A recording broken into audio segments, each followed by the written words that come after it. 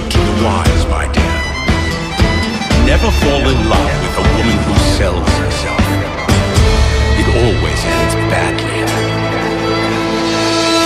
His eyes on your face, his hand on your hand, his lips caress your skin.